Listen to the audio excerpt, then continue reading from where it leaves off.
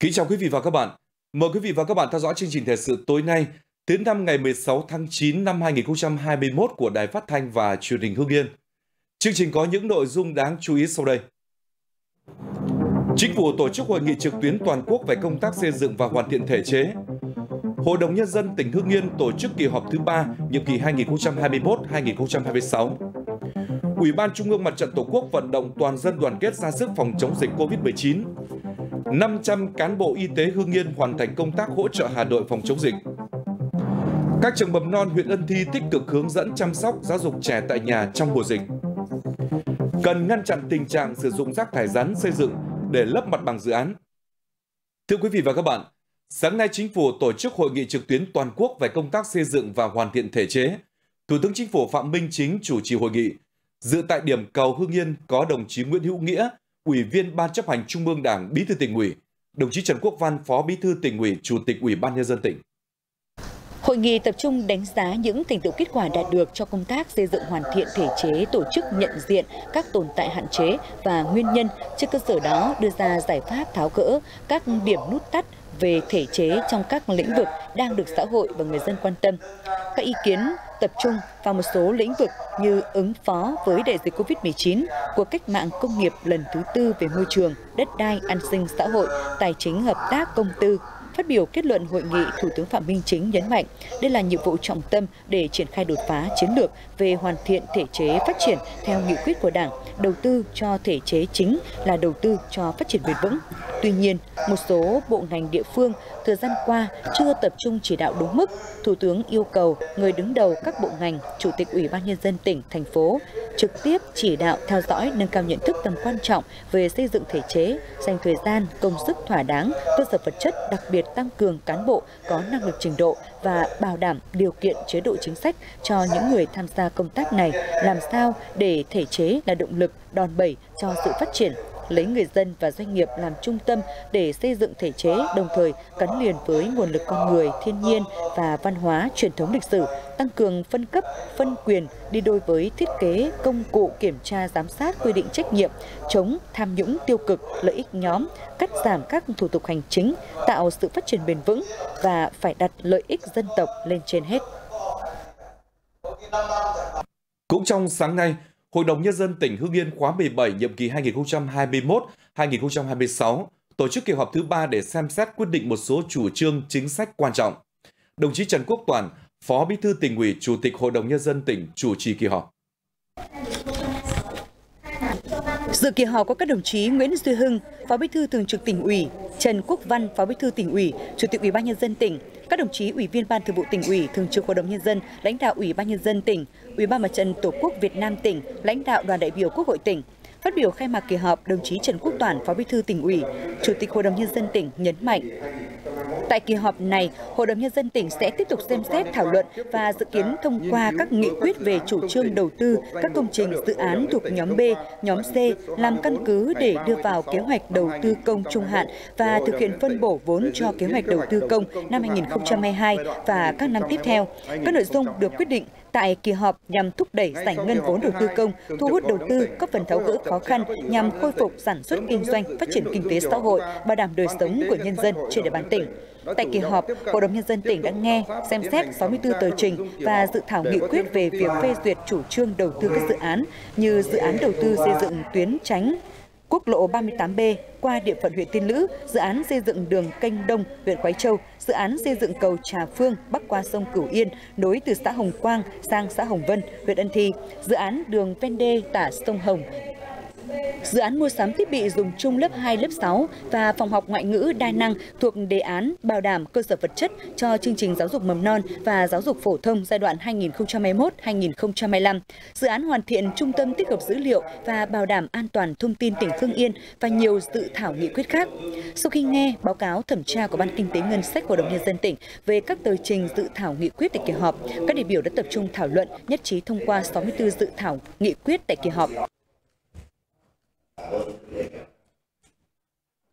Phát biểu bế mạc kỳ họp, Chủ tịch Hội đồng Nhân dân tỉnh Trần Quốc Toản đề nghị Ủy ban Nhân dân tỉnh khẩn trương triển khai các bước tiếp theo để triển khai các dự án đã được Hội đồng Nhân dân tỉnh phê duyệt chủ trương đầu tư, thực hiện các thủ tục đầu tư, bảo đảm đúng quy trình, quy định pháp luật. Thứ nhất, Ủy ban nhân dân tỉnh khẩn trương thực hiện các bước tiếp theo để triển khai dự án đã được Hội đồng nhân dân tỉnh phê duyệt chủ trương đầu tư, thực hiện các thủ tục đầu tư đảm bảo đúng quy trình, quy định của pháp luật, chỉ đạo các sở ngành chức năng tiếp tục làm tốt việc hướng dẫn và phối hợp chặt chẽ với Ủy ban nhân dân các huyện, thị xã, thành phố, đơn vị có liên quan để tổ chức thực hiện nghiêm túc, hiệu quả các dự án đầu tư đã được phê duyệt,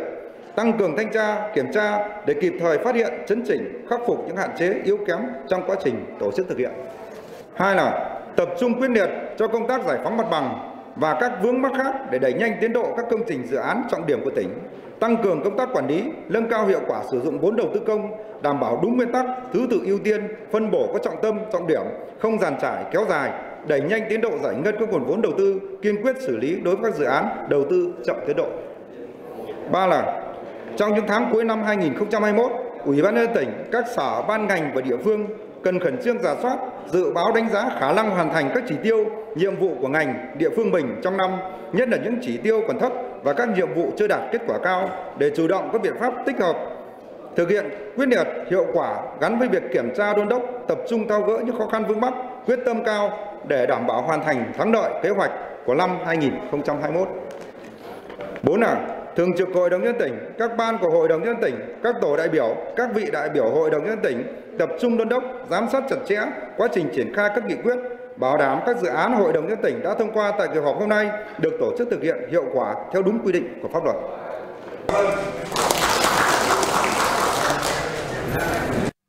Sáng nay tại Hà Nội, Đoàn Chủ tịch Ủy ban Trung ương Mặt trận Tổ quốc Việt Nam và Tiểu ban vận động và huy động xã hội thuộc Ban chỉ đạo quốc gia phòng chống dịch COVID-19 tổ chức chương trình tiếp tục đợt vận động toàn dân đoàn kết ra sức phòng chống dịch COVID-19. Dự chương trình tại điểm cầu tỉnh Hưng Yên có đồng chí Quách Thị Hương, Ủy viên Ban Thường vụ tỉnh ủy, trưởng ban dân vận tỉnh ủy, Chủ tịch Ủy ban Mặt trận Tổ quốc Việt Nam tỉnh. Ban thường trực Ban dân vận Trung ương. Đợt vận động toàn dân đoàn kết ra sức phòng chống dịch COVID-19 tiếp tục kêu gọi toàn thể cán bộ công chức viên chức, người lao động, chiến sĩ các lực lượng vũ trang, các doanh nhân doanh nghiệp thuộc mọi thành phần kinh tế, các tổ chức quốc tế người Việt Nam ở nước ngoài, các tổ chức tôn giáo, các tầng lớp nhân dân phát huy tinh thần đại đoàn kết dân tộc, thương người như thể thương thân, bầu ơi thương lấy biết cùng, với phương châm người có của góp của, người có công góp công, có nhiều góp nhiều, có ít góp ít, ủng hộ kinh phí trang thiết bị y tế lương thực thực phẩm, nhu yếu phẩm cho công tác phòng chống dịch. Ủy ban Trung ương Mặt trận Tổ quốc Việt Nam cam kết sử dụng đúng các quy định của nhà nước công khai minh bạch, sử dụng đúng mục đích có hiệu quả mọi sự đóng góp, ủng hộ kinh phí, vật chất của cộng đồng và toàn xã hội. Tại lễ phát động, có trên 30 tổ chức doanh nghiệp cá nhân đăng ký ủng hộ tiền và hiện vật trị giá hơn 290 tỷ đồng. Ủy ban Trung ương Mặt trận Tổ quốc Việt Nam đã phân bổ hơn 30 tỷ đồng hỗ trợ cho một số tỉnh, thành phố. Tại buổi lễ, Tiểu ban vận động và huy động xã hội thuộc Ban chỉ đạo quốc gia phòng chống dịch COVID-19 chính thức ra mắt hệ thống đóng góp trực tuyến thông qua địa chỉ truy cập http 2 gạch chéo gạch chéo vận động xã hội mặt trận org vn trang thông tin điện tử nhằm tạo ra kênh đóng góp ủng hộ trực tuyến cho công tác phòng chống dịch. Bên cạnh việc tiếp nhận ủng hộ thông qua hai kênh trực tiếp là cơ quan Ủy ban Trung ương Mặt trận Tổ quốc Việt Nam, Ủy ban Mặt trận Tổ quốc Việt Nam 63 tỉnh thành phố và các tổ chức thành viên của Mặt trận Tổ quốc Việt Nam.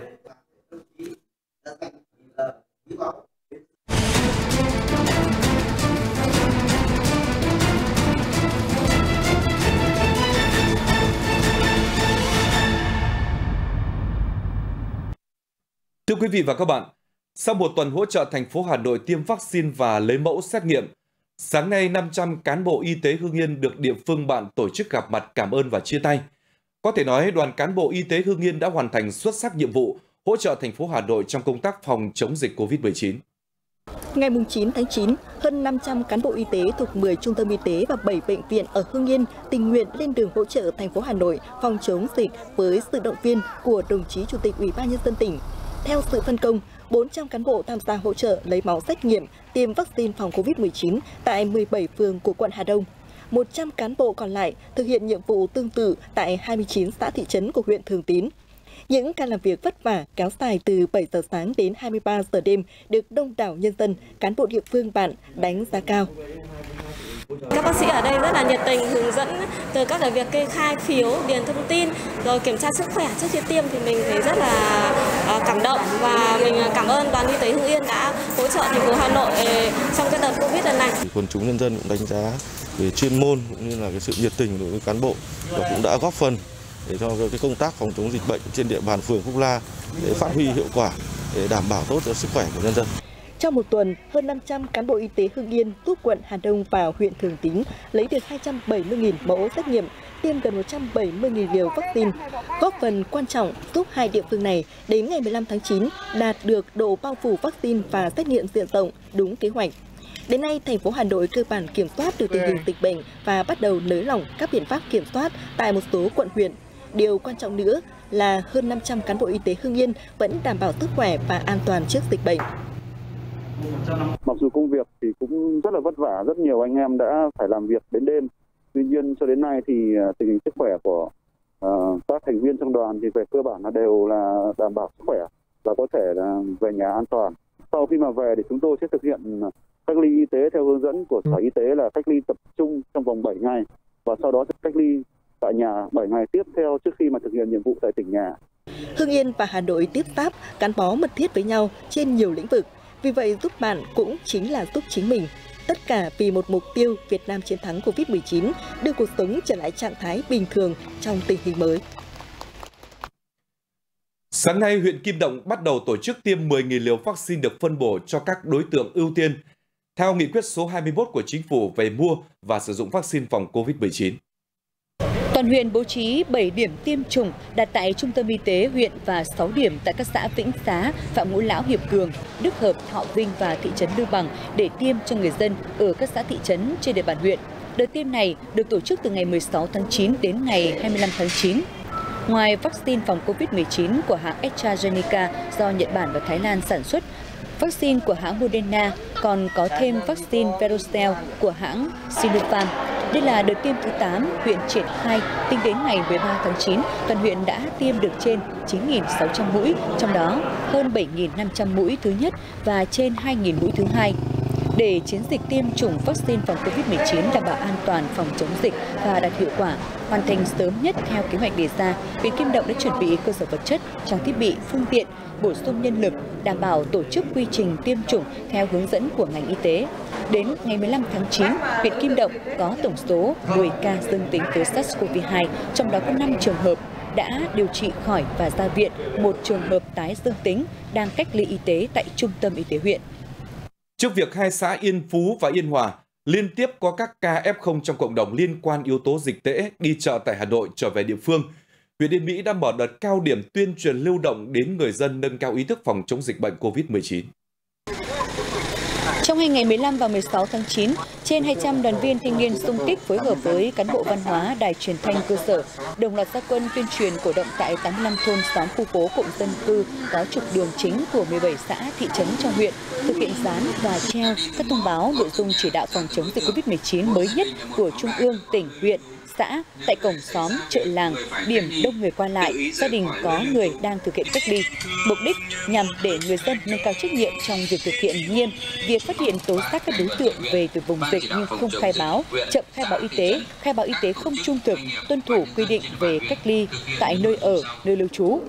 Đối với những trường hợp người dân cung cấp lương thực, thực phẩm và các nhu yếu phẩm cho thành phố Hà Nội được cấp giấy luồng xanh phải đảm bảo thực hiện các quy định về phòng chống dịch, có kết quả xét nghiệm RT-PCR trong vòng 72 giờ hoặc test nhanh trong vòng 48 giờ, khai báo cụ thể lịch trình di chuyển, địa điểm đi đến bán hàng khi về địa phương phải cam kết thực hiện nghiêm việc tự cách ly tại nhà.